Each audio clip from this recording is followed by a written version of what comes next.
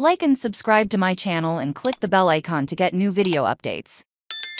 How Bailey Zimmerman enchanted Nashville Nashville The spoils of fame are fast approaching for rising country star Bailey Zimmerman. Texas singer-songwriter Cody Johnson made him a standing offer to ride horses on his ranch. Nickelback frontman Chad Kroeger flew him in a private plane to Canada to spend some time writing songs. Guitar genius Gary Clark Jr. and singing ex-rapper Jelly Roll partied with him backstage at the CMT Awards. Recently, Kid Rock invited him to dinner at his ranch outside of Nashville. He freestyled for us at dinner and we went in. And he showed us his pool and his bowling alley and all his guns, Zimmerman said last month, still a little in awe as he wowed sipping Bacardi and a Coke at the bar at Topgolf. Zimmerman, 23, is boisterous and kind, outspoken and still a little stunned at S. Only been two and a half years, since he first posted a clip of himself singing a verse of an original song. His very first sings on TikTok, goes to bed and wakes up with a million views. Now he has the number one song on country radio,